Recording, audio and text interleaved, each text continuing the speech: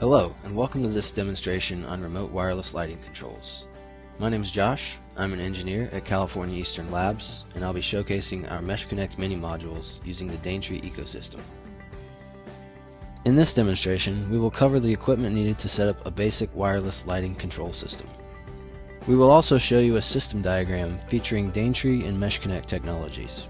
Finally, we will run a quick hardware demo to show you how easy it is to implement your own wireless lighting control solution. You'll need a personal computer or mobile device with an internet connection to use ControlScope Manager. You will also need a wireless area controller. The wireless area controller provides the core intelligence of Daintree Network's ControlScope. Additionally, you will need wireless end nodes such as light fixtures, light sensors, motion sensors, or other Zigbee enabled devices. We recommend using CEL's MeshConnect mini modules for a professional grade and easy to implement wireless solution. You can find out more at www.cel.com forward slash meshconnect. Here's a system diagram featuring Daintree and MeshConnect technology. A system controller is connected to Daintree's ControlScope Manager, which delivers an easy-to-use web-based graphical interface for energy management and system configuration. The wireless area controller manages communications with all the end nodes using MeshConnect technology.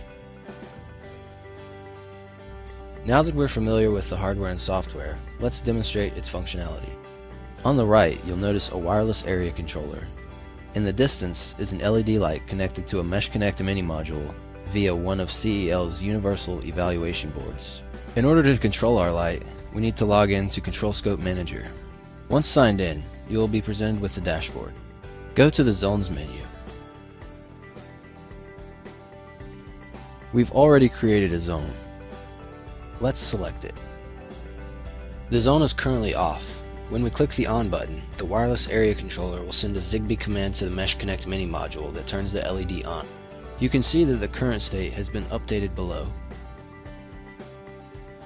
Now let's dim the light from 100% to 20%. In response to the wireless area controller's command, our MeshConnect mini module varies a pulse width modulated output signal that changes the brightness of the LEDs. For our next demo, we will be using an ambient light sensor. The light sensor provides feedback to the network based on current lighting conditions. We've created another zone in ControlScope and added a light sensor plus two LEDs. Again, the LEDs and light sensor are connected to Mesh MeshConnect mini modules via CEL Universal Eval boards. In a second, we will turn off the lights in the room. The MeshConnect mini module connected to the light sensor will report the new conditions to the wireless area controller. The wireless area controller will respond by issuing the Zigbee command to increase brightness to all the lights on the network. When we turn the light back on, the LEDs will return to their previous brightness. This concludes our demonstration. For more information on integrating MeshConnect products in your application, visit us at www.cel.com forward slash meshconnect. Thank you for watching.